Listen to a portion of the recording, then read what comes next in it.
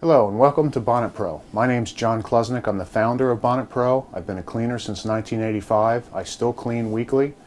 And today we're going to do Bonnet 101. We're going to go over uh, the differences between synthetic and natural fiber bonnets, how to care for your bonnets, when and why to use them, and things not to do also. And later we're going to do a demo between uh, Cimex and a uh, bonnet machine to show you the differences and why you bonnets are so critical in your low moisture carpet care. Here I have a pile of synthetic bonnets. You may or may not have seen some of these in the past. We have some microfiber, uh, we have some older microfiber, an old diamond pad, even the, the Christmas tree uh, microfiber bonnet. And these share a lot of common traits, which are the synthetic pads have a tendency to hold up well, they last long, but the cleaning performance and its ability to remove soil is not as great as a natural fiber bonnet. Now the natural fiber bonnets are mostly cotton. Bonnet Pro was the first one to make a bonnet out of wool and we now also make bonnets that are a cotton and wool blend. And each bonnet has a different feel to it and a different reason why you would use one over the other. But comparing it to the synthetic, the cottons won't last as long. The wool bonnets last quite a while. Uh, but what they do is it's a comparison, if you would, of a street car tire to a race car tire. Um, the synthetic pad will give you long life and average performance. The race car tire will give you a shorter life but very high performance. And when it comes down to cleaning the worst of the worst, the cotton bonnet or the cotton wool uh, blended bonnet is what you want to use under your machine to get the highest level of performance, cleaning performance as you can get. I frequently get asked, how far do my bonnets go? How, how long do I, do I clean with them before I change them? And there's not a one-size-fits-all answer. You can, you can start an estimate at around 400 feet per side, but if I was in um, a dining room coming out of the, the greasy tile from the kitchen, I might only get 25 or 30 or 40 feet per side, and if I'm in a hallway, I might get 8 or 900 feet per side.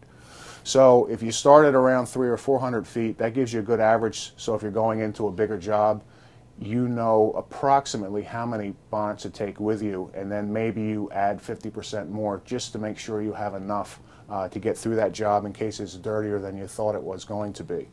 Now this pad is fairly soiled. I've seen pads dirtier than this, and once you get to about this soil level, uh, you should flip it because you get to a point of diminishing returns where the pad's getting dirtier, but the carpet's not necessarily getting that much cleaner. So if you've if you've uh, stopped your machine and looked at your pad and it was this dirty or dirtier, you might want to backtrack a few feet, go over it with a with a clean pad. Uh, that way you're you're pulling out as much soil as possible uh, to not only make the carpet appearance even, but to remove uh, more soil so your encap can work more efficiently because it's not overwhelmed with too high of a soil load. Now, some of the, the OP manufacturers are, are, starting to go with a bristle brush instead of the Velcro, and that's, that's a good choice. That's a good thing to have. Uh, the, the bonnets will peel off of these much easier, uh, especially with a natural fiber. They grip really well. I like uh, a little bit longer bristle, gives you a little bit of flex, but either one is fine and is, is your best choice right now for securing your bonnet under your machine, whether it's a rotary or an OP machine. Another part of uh, your bonnet cleaning is caring for your bonnets. What I found is it's best to clean your bonnets the same day that you soil them while they're still damp. Don't let them sit in the garage and, and get funky for a week where the bacteria starts to grow and they start to get an odor and, and the soil crusts into the bonnet. Clean them the same day you use them. You can use something like Bonnet Wash. Um, I've designed this with uh, brighteners, enzymes. It's a triple strength uh, laundry detergent. And what you'll find with this compared to a commercial uh, product is this will clean uh, better and your bonnets will look better. It's important to care for them right from the beginning. So when you take your, your uh, soiled bonnets that have been used and cleaned and you take those into your customers' locations that they smell good and they look clean and that they're not dark and dingy so you can be proud of what you're doing. Now depending on the bonnet you use, different bonnets will perform differently and they will also generate different amounts of heat. Heat is what can damage a carpet, so it's important that you spray down enough of your cleaner and keep your machine moving because uh, friction from the bonnet under the machine and the weight of the machine will build up heat and if used improperly you can damage the carpet. Uh, products like the wool piece, Uh, the wool dissipates heat and they run very cool and they're very um, easy to run on the machine. They, they run like a, a, a, synthetic pad. They will not remove as much soil as the cotton will, uh, but if you have a delicate carpet or you have a wool carpet, this limited use pad would be the right choice uh, for that application. Next you can go to, uh, this is a wool cotton blend and this will also run cool and very smooth under your machine and this will remove more soil than this because of the cotton. It's not as much as a, as a full uh, cotton bonnet as far as its cleaning performance. It's somewhere in between and again this is very safe for the carpet and will remove a lot of soil because the wool and the cotton are very absorbent. We have the plush which is a double layer pad. This will hold uh, over four pounds of liquid. It absorbs a, a, great deal of moisture and that's important because your soil's inside of your uh, water molecule uh, where the chemical is suspended and that's what helps it to move from point A to point B. So one of the things when you're cleaning is you want to have enough moisture down to allow that transfer to take place. If you go and you need more performance, we have the Supima, which is the world's strongest cotton. Here's some Supima yarn. Um, and I've tried before, and I, I can't break this. We'll see if we can do that today. Uh, I usually give up before the cotton does. Don't you zoom in on my hand there, Jay? That is a strong, strong fiber. So Supimas currently are the best cotton bonnet uh, produced because it's the strongest cotton you can buy. It's better than Egyptian cotton. It's actually made for fine apparel.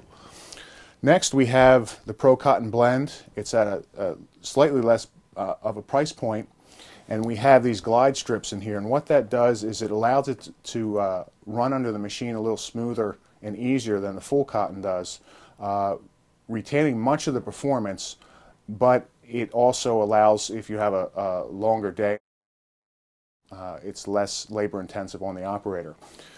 This also allows, if, if your chemical foams, it allows the foaming indicators to activate uh, so you can see if you have enough uh, cleaner on the carpet. We look for like a light milk mustache.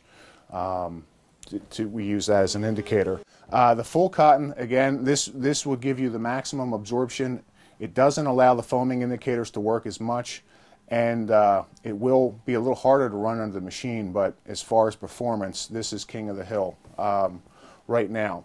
So when we're looking at, at um, cleaning, one of the reasons we need to use the pad and why it's so important is we're cleaning a fiber that's about this size. Now imagine the coating of polymer on top of that fiber, which we did here, uh, we got here with an electron microscope. This is a trilobial shaped piece of nylon at 650 times magnification so you can see the trilobial shape. So you can just try to imagine uh, how thin the coating of uh, encap polymer is on that. And that's why it's so important to not just flush everything to the bottom of the carpet, that we want to absorb it out with the bonnet. Uh, we want to pre-vacuum, we want to absorb out with the bonnet, and then the smaller amounts of particles that are left behind, we have a much better chance of encapping them and not having any wicking action occur. We took these pictures uh, in a certified lab with an electron microscope, and we were able to, again, get uh, pictures that help you understand and help us see just how small uh, the polymer is on that and just how critical it is to be able to pull soil out when you're cleaning. Now if we look, your pre-vacuuming is going to help greatly with that, but also if we look at, if you're doing a commercial job, say monthly, so you're going to clean that 12 times a year, you can either flush soil at the bottom of the carpet 12 times a year, or every time you take out your bonnets from that job and you wash it, you can see just how much soil you're removing before the encap takes over. So again, this is very important. You could do dozens of bonnet cleanings uh, every year and all that water, those uh, dozens or hundreds of gallons of dirty water you removed is no longer in the customer's carpet. It's kind of like if you went to the doctor and you had a sickness, say you had cancer, and the doctor said, well, I'm going to be able to help your brain cancer, I'm going to move it from your brain to your feet. Would that be acceptable? No, you still have cancer. And when you take a machine that, that uh, gravity feeds and washes and cleans a face fiber but flushes it all to the bottom of the carpet, that's not acceptable either in your customer's eyes because you haven't cleaned the carpet, you just moved it from the top to the bottom. So the bonnets will help you absorb and pull out your soiling, which makes the carpet cleaner and makes it last longer. So with that said, there's some things you kind of don't want to do when you're bonnet cleaning.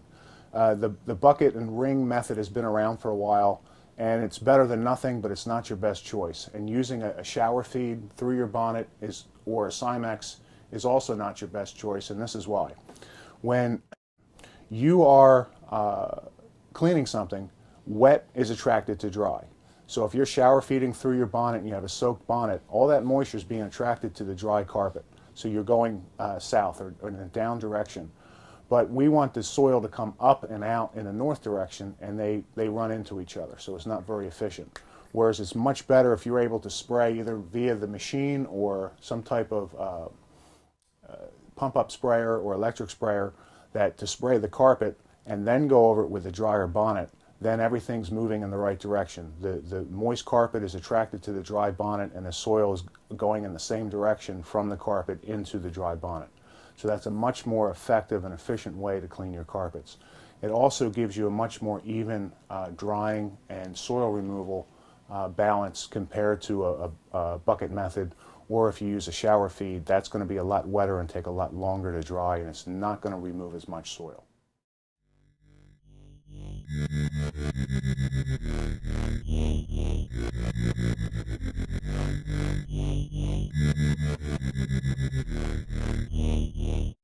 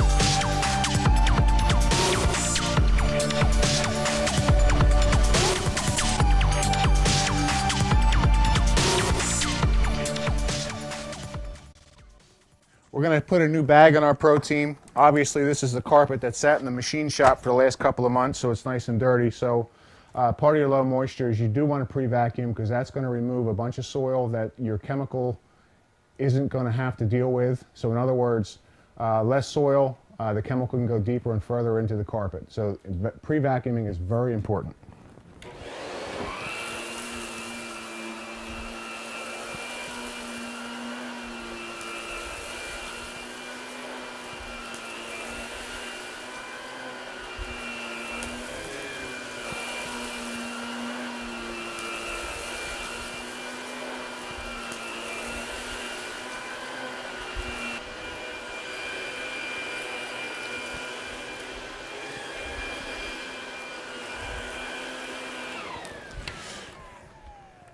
Now, not that any of you would have cleaned that without vacuuming it, but let's just show you what we got out of there.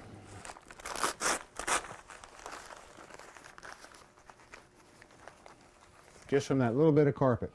So can you imagine if you were cleaning 10 or 15 or 20,000 feet of carpet, how much soil would be left behind, and then you're expecting your polymer from your encap to take care of all that. It doesn't work that way. So this is a crucial step, a critical step in laying your foundation for getting a great result from your low moisture and your encap methods.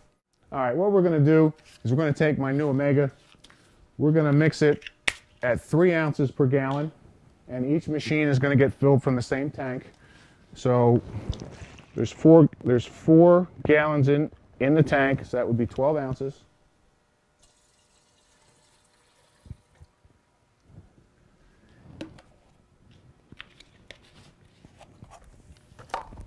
You would give me the, this is uh, John, This is his uh, from Burdick's Carpet Cleaning. He's a customer and a friend and neighbor of, of mine, and he, it's his Cimex, and we're gonna he's gonna run the Cimex for me today. All right, we'll go to the next one.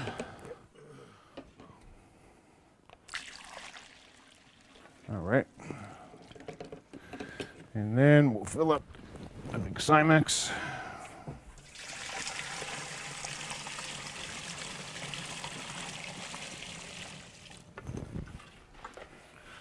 All right. Now the Cimex, not to pick on it because it's a well-made machine. There's a lot of people that like it. But what that basically does is it'll clean the face fiber, but it won't clean the carpet. And what I mean by that is it's going to rearrange the soil. It's going to wash it from the top and the face fiber of the carpet down to the backing of the carpet. So it's going to shower feed through these fiber pads. Um, we make bonnets for it, but compared to a full-size rotary, uh, these just aren't as efficient because how many pad changes you need to go through. So what we're going to do here is I'm going to cut this carpet into three sections. I'm going to flip this over for just a minute.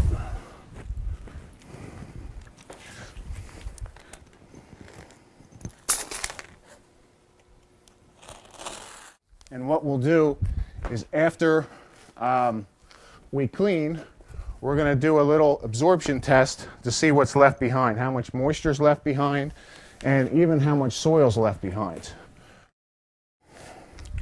So if we want, we can even make this fairer.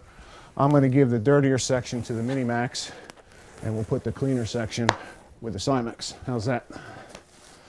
All right, Mr. John, if you want to do your thing.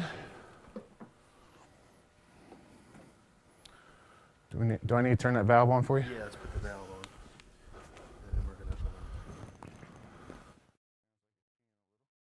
I'll get the cord for you.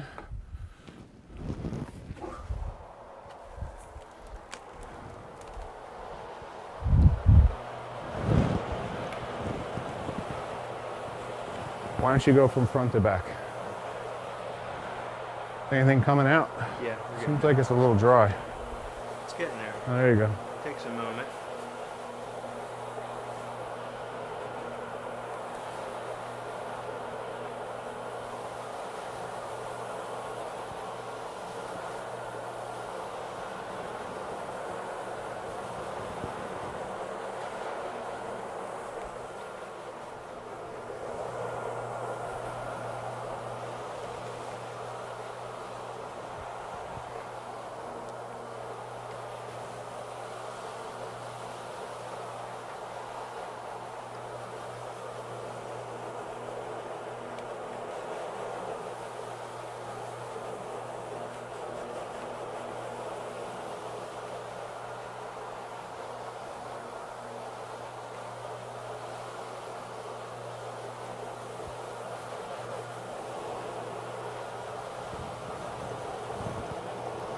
Doesn't seem like that's coming out too good. Open that up. I'll try. It's getting kinked.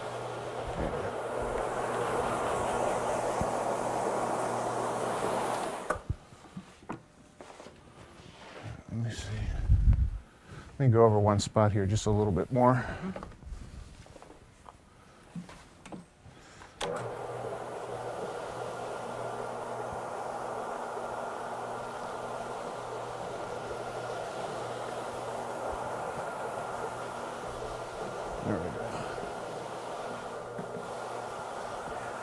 You know, it's funny when I when I let go of the handle, I expect it to turn off because I'm used to the rotor.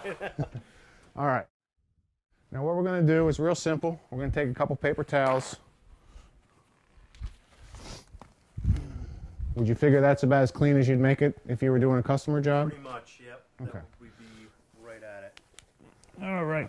Just lay this one here.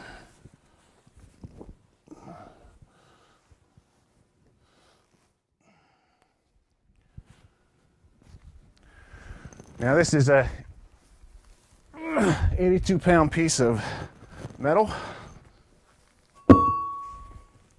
And we'll just give this a couple rolls. And the whole point of this is just to absorb out a little bit of the moisture and the soil that might be left behind.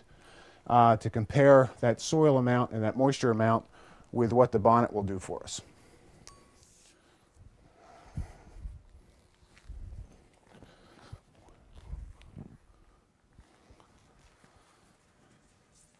So this is reasonably wet.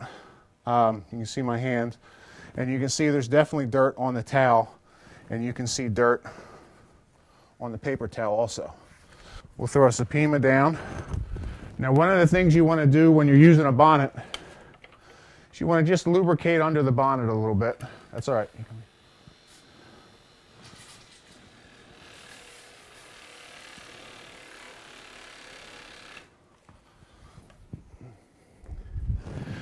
That way we're less likely to cause any fiber damage or have a problem.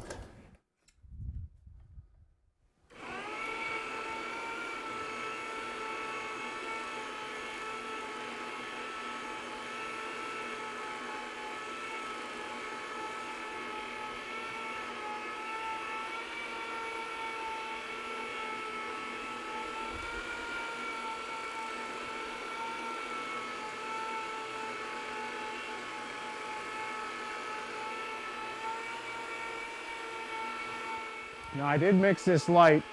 Uh, something like this, I probably should have mixed it at four ounces per gallon. I mixed it less. Um,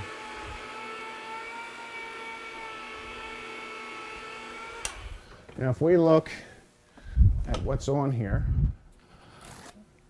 that's dirty. Ooh, yeah. So all that would have been left in the carpet. So we're going to turn that over again, take a little bit more out. And we might even need to go to a second bonnet uh, because the amount of soil that was left in here.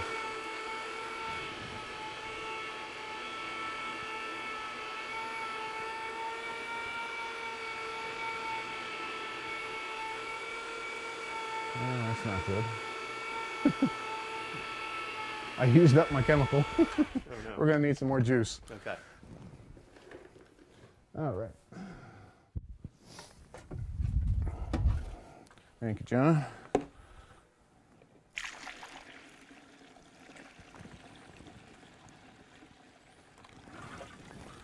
That's what I get for being a gentleman and taking the dirtier section. Yeah.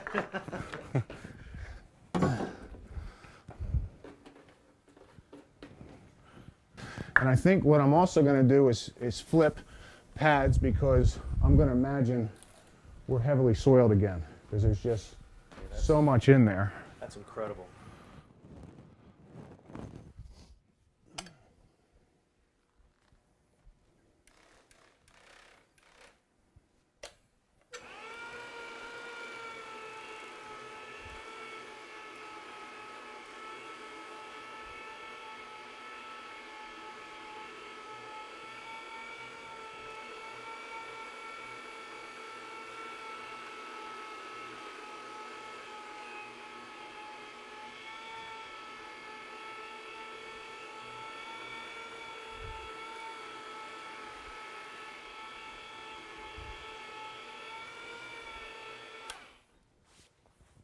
All right, so again, I'm sure we have another dirty pad.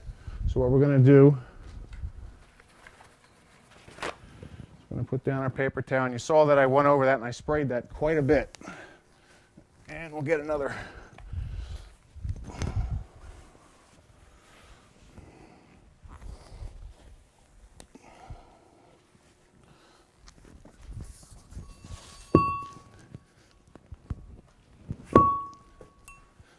So we'll give that a roll.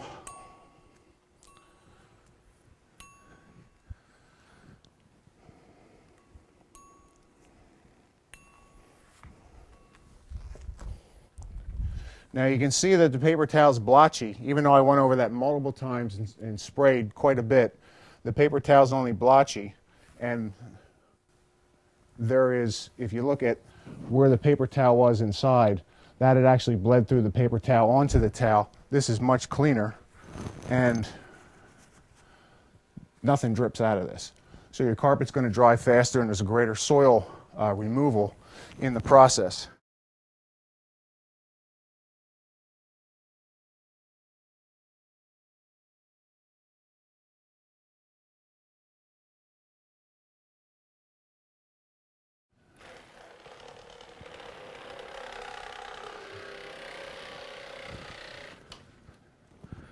Again, you want to spray first to lubricate and protect. Helps the cleaning process.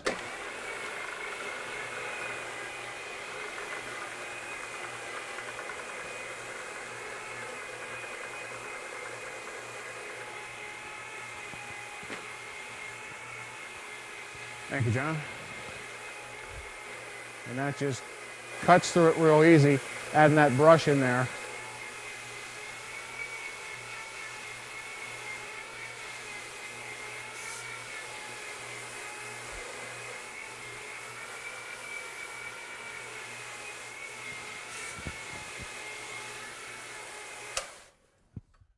All right, this has some real bad grease, uh, petroleum-based spots on here, so we're gonna just pre-treat that, and just for the sake of it, we're gonna go over it again with a fourth side, and uh, see how much more we can pull out of this, out of this uh, carpet with these pads, just to make the point that of how much soil can be hidden in the carpet, and why it's so important to, to pull it out as you're cleaning.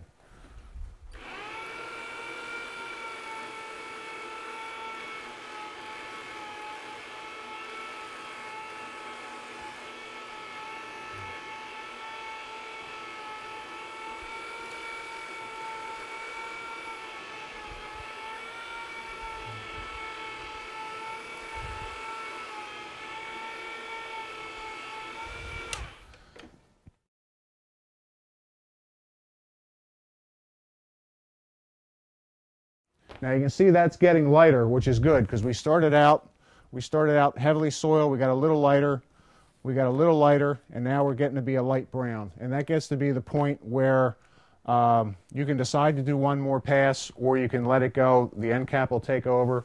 But if the carpets um, are putting this much soil on, on your bonnets, you definitely want to switch them out more or make another pass with a fresh bonnet.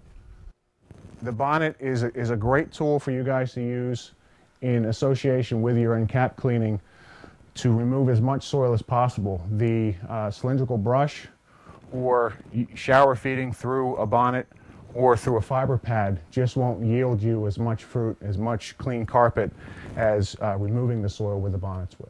All right. Hey, John, thanks for coming by. Thanks thank for letting me use your Cimex there. Absolutely. Thank you. So to recap, you can just see how important it is to, to do a good vacuuming job. It's just critical. And then to pull out soil, even with all that vacuumed out, we still pulled out a lot of soil on four sides of a bonnet. Typically, they should cover three or 400 feet a side, and this is just uh, maybe 10 or 11 square feet. And we, we totally wrecked the bonnet soil-wise with how much we pulled out of this. Um, so it's, it's, again, it's, I can't stress how important it is to be able to pull out the soil when you're doing your low moisture cleaning uh, and that helps uh, lay a good foundation so the next time you come in and clean, it's not building up. It's, you want it to diminish. Uh, you want it to reduce, not, not always be adding. Well, I wanted to thank you for watching. I hope you learned something today. And if you have any questions, feel free to call me at uh, Bonnet Pro or go to www.bonnetpro.com um, to find out more about our products and what we do and how we can serve you. Thanks again. Bye-bye. the